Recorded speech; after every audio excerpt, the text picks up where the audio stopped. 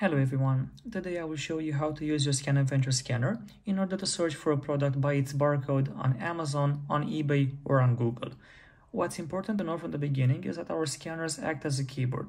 So this means that each time when you scan a barcode, it will transmit the data as if you would be typing it on a keyboard. Uh, why am I telling you this? Is that um, it is important to know that before scanning a barcode on an application or in an application, you'll first of all have to click on the search bar from from that platform. So for example if i will try to search for a product on um, on google for now.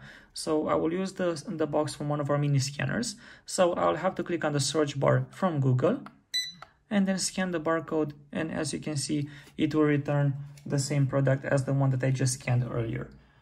And if i will try to do this on um, let's say on ebay for now once again i'll have to click on the search bar and this is the product that I will search for. And I'll have to scan the barcode from the box.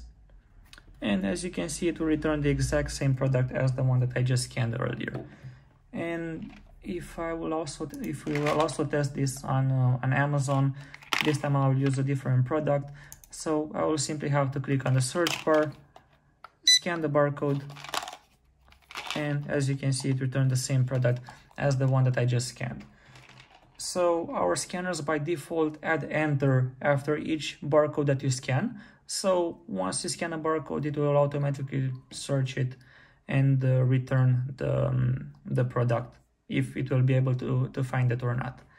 I hope that this video helps and thank you very much for watching.